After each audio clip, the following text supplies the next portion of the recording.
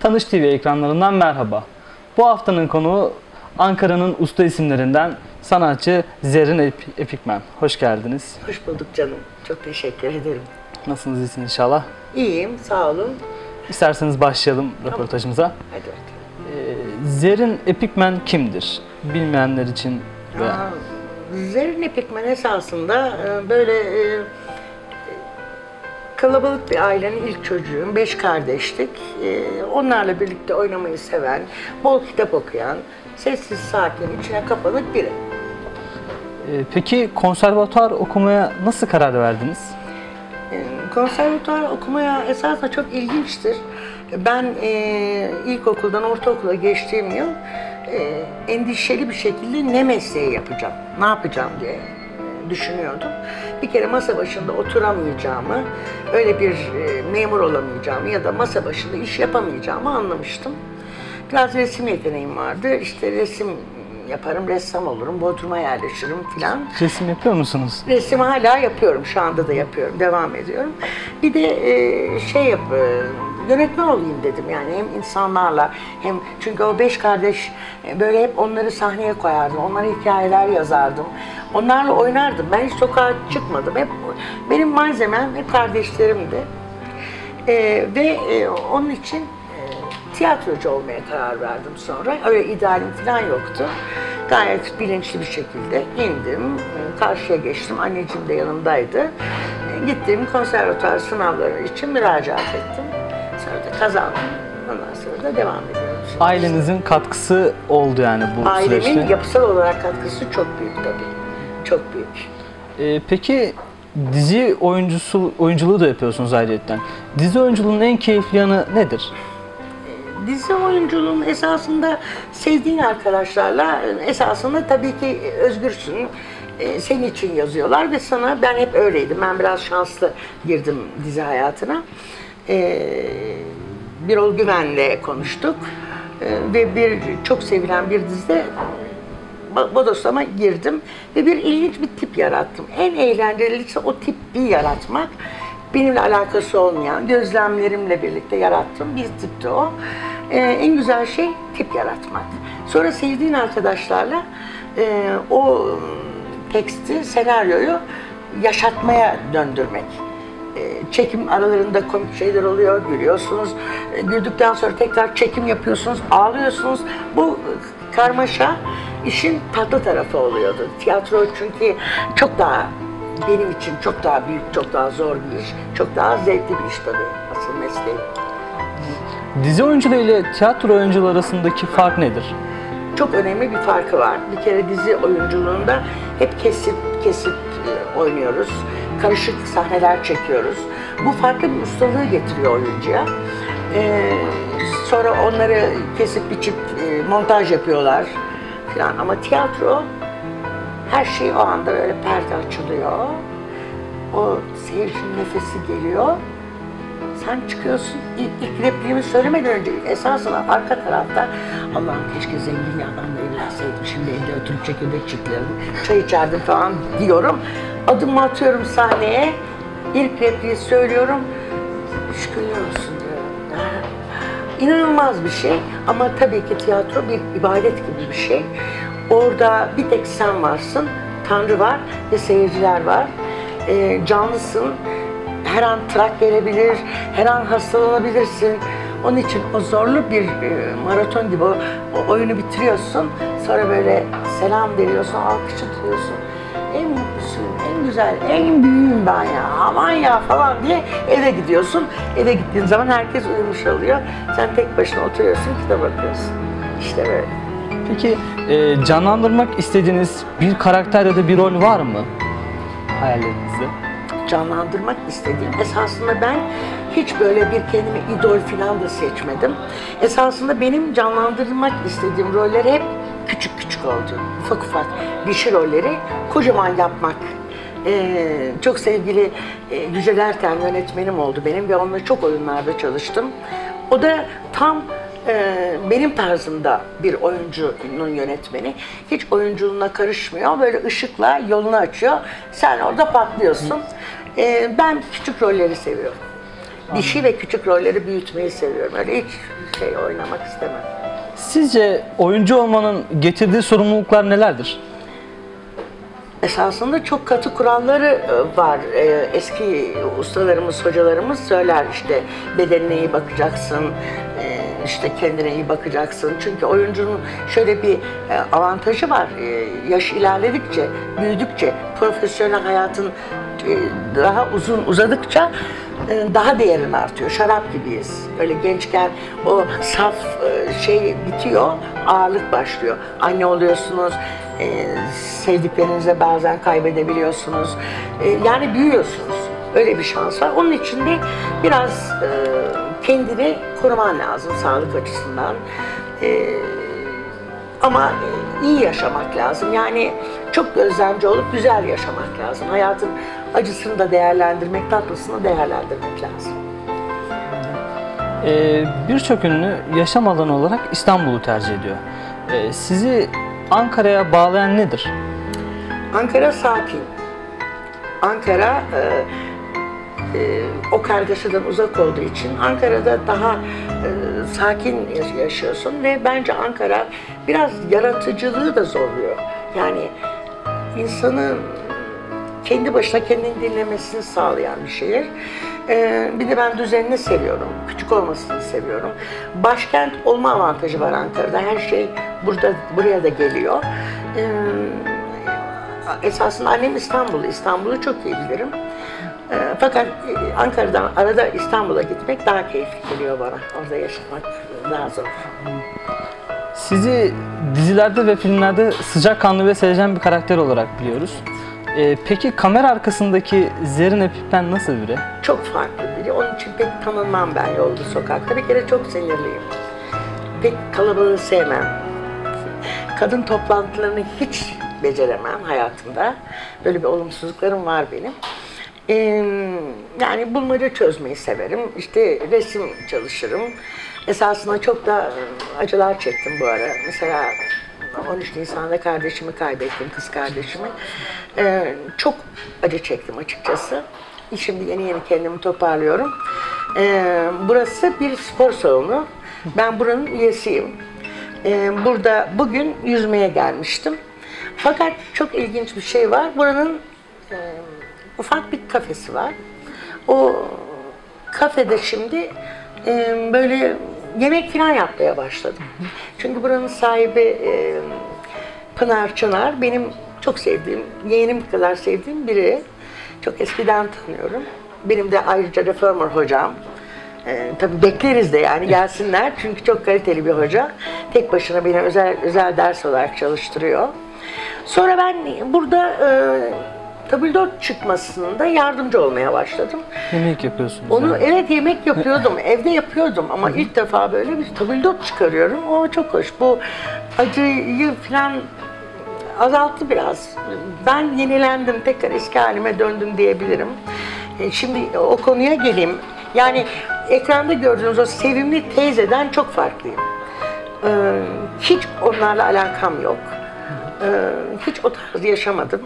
Ee, daha farklıyım. O yüzden tanınmadığım için çok seviniyorum. Yani dışarıda tanınmıyorum. E ne güzel, yani çok büyük bir sanatçıyım galiba filan dediğimde oldu tabii. Şimdi geleyim burada yemek yapmaya. Birden acayip derecede o yemek yap, yapmaya başlayınca o başarı herkes geliyor tabildot veriyoruz bankalara filan buradan gidiyor. Sonra küçük bir menü hazırladım kendime. Salatalar. Tabii bu ara e, diyetisyen e, Elif Şakacı bana çok yardım etti. Çok tatlı bir arkadaş. Bu beni asiste etti. Hep yanımda oldu. Ama ben bayağı acaba diyorum yani aşçı mı olsam falan diyecek hale geldim. Bu konuda bir merakınız var yani. Merakım var. Ailemizin erkekleri çok güzel yemek yaparlar. Oğlum mesela sinema televizyon okuyor, yönetmen olacak. Ama aşçı olmaya karar verdi. 10 yaşından beri yemek yapıyor çünkü. Ee, ben de onların gibi, onlar gibi yemek yapabildiğim için çok mutlu oldum. Bu da en büyük şeydi. Bana şey oldu bu, ne diyeyim, e, psikolojimi düzeltti. Çok sevinerek, yürüyerek geliyorum. Şarkılar söylüyorum. Yani şu anda mutluluktan ağlayabilirim çünkü çok acı çektim. Kız kardeşim çünkü çok ani kaybettik. Öyle işte böyle. Hay Allah. Peki sanat dünyasından e, arkadaşlarınız burada olduğunuzu biliyor mu? Hani Hayır, hayır bilmiyorlar. Bu benim bir hafta önce ani bir karar karar verdim. Çünkü kendimi çok iyi hissediyordum. Ben dedim alayım, yükümleneyim. Çünkü çok e, zorlu günler geçirdik bu ara. E, bu şeyin, o küçücük kafeteryayı işleten insanlar yer değiştirdiler falan bir gelemediler. E, buradaydı birbirimize omuz omuza verelim falan. Ben de katılayım dedim. Çünkü e, Pınar'ı, Pınar Çınar'ı, ben buranın sahibini e, çok yakından tanıyorum. Hadi bir başladık. Küçük bir menü hazırladık falan. Arkadaşlara haber veremedim. Geçen gün Çetin e, Azer arkadaşım aradı. Çok severim. Yine devlet tiyatrosu sanatçısı. Onu söyledim. Aa olmaz falan dediler. Herhalde burayı biz e, yaz kış doldururuz gibi geliyor. Ufak sohbetler ederiz. Kadın toplantıları yapacağım. Annemin mesela öğretmenleri ile öğretmen arkadaşları buluştuğu be- belli günler var. Ayda bir kere falan. Gidiyorlar dışarılarda orada burada buluşuyorlar. Gelsinler buraya sıcacık bir ortam. Ben onlara çeşitli böyle e, salatalar hazırlayayım. E, işte börekler yapayım. Onlar da burada toplantı yapsınlar diye düşünüyorum. Yani bekleriz. burada e, hiçbir sanatçı arkadaşınızın bilmemesi ve hani bizim de Tanış TV olarak bunu Ne kadar iyi olur. Evet. duyuracak Vallahi kanal olmamız reklam bizi oldu. Benim için çok güzel çok oldu. mutlu edecek, ha? Beklerim arkadaşlar. Hepinizi beklerim. Bütün yemekleri ben yapıyorum. Yardımcı da gelecek ama. Evet, ben yapıyorum. Yapabiliyorum, becerebiliyorum yani. Yani 20-30 kişiye yemek yapabildim yani. Elif sağ olsun. E, set dışındaki yaşamınız e, nasıl peki şu an? Set dışında yaşamı bir kere e, dinlenmek istiyorum. O, tabii oyunum varsa e, set çalışmalarım olmuyor. Ona plan yapıyoruz. Sağ olsunlar asistanlar yardımcı oluyor. Oyunum varsa e, öğleden sonradan sonra genelde kimseyle fazla görüşmüyorum. Çünkü gerçekten çok zorlanıyoruz. Ufacık bir dikkat dağınıklığı olabilir. E, yorgun olabilirsiniz. O yüzden böyle kendimi pek sakınırım. Normal hayatımda da dediğim gibi toplantıları falan sevmem. Özellikle kadın toplantılarını beceremem sevmekten öte. Pek bir merakım yoktur. Ee, bol bol kitap okuyorum esasında. Ee, bu e, biraz siyasetle ilgileniyorum. Evet işte. E, gelelim şimdi yeni projelerinize. İzleyicilerinizi yeni ne gibi projeler bekliyor? Ee, birkaç teklif almıştım açıkçası. Fakat bu dönemde şey yapma, e, eski oyunum Ankara Devlet Tiyatrosu'nda e, Yaşar Kemal'in e, Teneke adlı oyununda rol alıyorum. Bir uyarlamadır o. E, o oyun devam edecek. E, gelen tekliflerde de e, değişik bir teklif olursa neden olmasın diye düşünüyorum. Başka işte bu var burası var. Böyle bu- burayı denemek istiyorum. Yani burada dinlendiğimi hissettim. Ee, çok sevdiğim arkadaşlarım var. Burada beraber çalışıyoruz. Ayrıca spor yapıyorum burada. Ee, kendimi toparladım yani. Ne mutlu bana. Yemek yapacağım bundan sonra. Sanatınızı yemeğe de yansıtıyorsunuz. Peki e, bu yemekte menü olarak neler var acaba? Ha, evet. Şimdi böyle bak haftalık bir tabildot listesi çıkarttık. Yine diyetisyen Elif'le birlikte. Kalorilerini belli ettik ama o, o e, rejimle alakası olmayan klasik Türk yemekleri veya işte 3 kap yemek. E, 12,5 lira yazdık ona da. Çevrede bankalar var. İşte burada çalışan arkadaşlar var. E, işte e, Türk soy var filan. Yani buradaki çalışanlara çıkarıyoruz onu ve ben de beceriyorum yani yapabildim onu. Tabii ki yardımcımız gelecek sonuçta. Ben de küçük bir menü hazırladım. Ee, tost, kepekli tost, üç çeşit salata, işte karışık, ton balıklı. Yani bu tamamen sızma yağlı falan böyle e, basit ama zor, key- keyifli esasında. Ee, öyle toptan bir şey almıyoruz, yığmıyoruz. Ona çok dikkat edeceğim. Hani günlük alışveriş yapıp günlük e, yapmak istiyorum. Ondan Yaptığınız her sonra taze. kek var, e, havuçlu ve ıspanaklı kek var. O biraz hafif yani çünkü burada sporcular çıktığı zaman yine diyetisyen Elif söyledi mutlaka bir şeyler yemeleri lazım. Meyve suları taze sıkılmış, portakal suyu falan, işte e, çimen suyu, e, işte kırmızı pancar suyu. Bunları biliyordum daha önce. Çimen suyu İçiyorum. Evet, o İstanbul'da arkadaşlarım yapıyorlar. Bayağı buğdayın çimlenmesinden e, oluşan çimleri alıyorsunuz. Onları blenderdan geçiriyorsunuz. İşte içine bazı karışımlar da koyuyorsunuz. E, Limonla servis yapıyorsunuz. E, Buraya spora gelen, Zerrin Hanım bir saat spor yapacağım, meyve suyu hazırlar mısın derse ben hazırlayacağım taze. Hazırlatacağım ya da taze taze. Anladım. Ee, peki son olarak eklemek istediğiniz bir şey var mı? Bir de bir şey söyleyeceğim. Fiyat, fiyatlarımı da kontrol ettiler. Gelen, geçen. Çok yeni bunlar tabii benim için. Bu hazırlayacağım menüyü geliştireceğiz de.